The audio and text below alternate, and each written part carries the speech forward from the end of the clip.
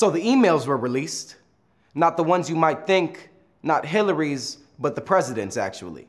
Tangled up in perjury, Donald Trump Jr., alongside in law Jared Kushner, met with a Russian attorney to discuss compromising information, to manipulate a nation. And when asked about the incident, zipped their lips and never reported it. Actively denied any involvement, that is, till Jr. released his own text, confessed, discussed ways to incriminate the Democratic candidate, and now, finally, I can breathe. The American people will see the corruption of those who lead, yet scrolling down a social media feed, all I see is Hillary should have been locked up.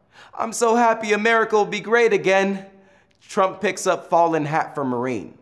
We give so much credit for his uninspiring actions prodded by a camera, but ignore how he lays his son down like Isaac, lets the media pick his bones for a story they can flip to convince themselves that it wasn't the president, that we're so far past the politics. It's just common sense. Though every week we rinse, wash, and repeat, bad Trump isn't too bad because it's too late to feel too sad about our mistakes. I beg the question how much longer must we tolerate obvious obstructions of justice? The only reason Trump's son coughed it up is because New York Times already had the headline.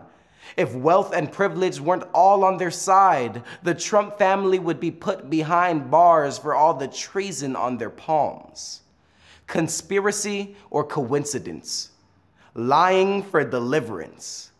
That's how much he loves our country.